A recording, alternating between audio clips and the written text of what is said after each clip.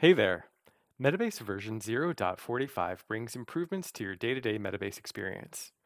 We also added a few cool things like new datetime functions and official support for Amazon Athena. For even more details, be sure to check out our blog. To start, we redesigned the settings for visualizations to make charts easier to work with, including a new option to reorder series and steps.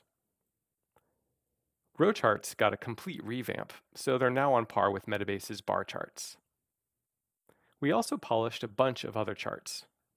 We added conditional formatting to pivot tables, improved labels on pie charts, and more.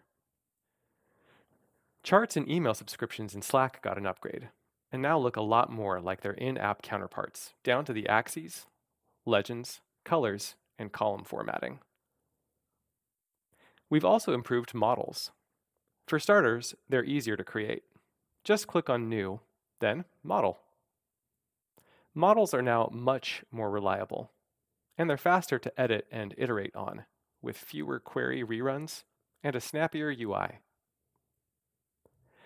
In the Query Builder, you'll find new datetime functions.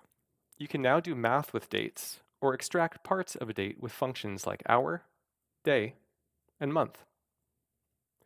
These are just some of our favorite new features in Metabase version 0.45, but you can see even more on our blog. We're excited to hear what you think. And, as always, thanks for using Metabase.